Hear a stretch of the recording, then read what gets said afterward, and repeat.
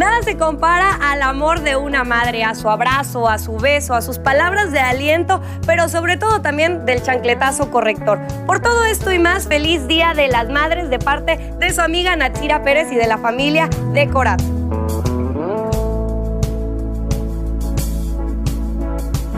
Televisión Tabasqueña, canal consentido.